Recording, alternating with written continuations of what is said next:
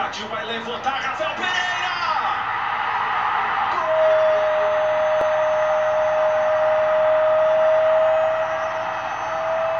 Gol do Ceará!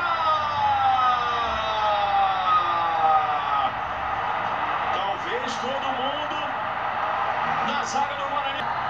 Na cobrança de falta do Ricardinho, Rafael Pereira. Estava sem marcação, estava no movimento, bem difícil para a arbitragem. Cruzamento do Ricardinho, Rafael Pereira desviando. Não deu para o Leandro Santos.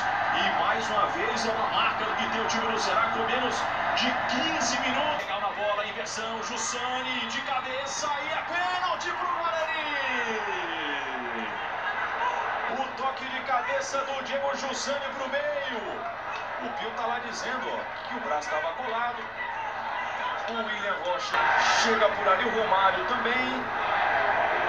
Marielson, o toque de cabeça e a bola no braço do Romário. Por outro ângulo, como ele bota na frente e já vai dobrando o mesmo juiz. Mais uma vez, ó, até por outro ângulo para você observar. A marcação de Salomão, é o número 40.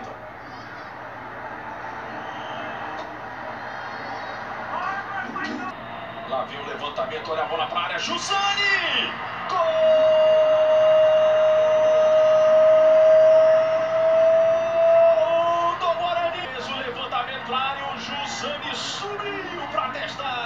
Aí não.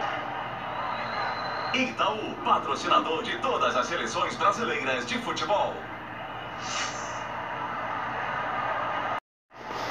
E aplica o cartão amarelo para o Pi.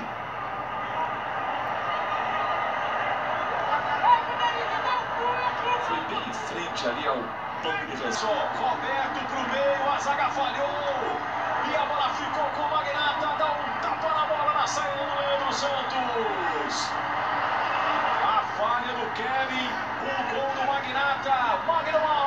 Alves acabou de entrar. E é pra hora do cruzamento, tudo certo. É no cabeceio do Magno Alves, ó. Quando o Magnata dá uma testada, tem o, dois jogadores do Guarani dando condição. E na sobra o Richardson fez o gol, mas de bandeira o E é pra colocar, é acender o torcedor. Hora do cruzamento, tudo certo. É no cabeceio do Magno Alves, ó. Quando o Magnata dá uma testada, tem o, dois jogadores do Guarani dando condição. E na sobra o Richardson fez o gol, mas de bandeira o árbitro assistente número um, repito, o Marcos Joel.